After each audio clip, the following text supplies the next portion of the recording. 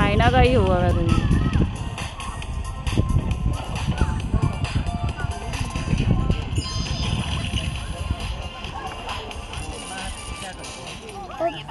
Don't worry about it.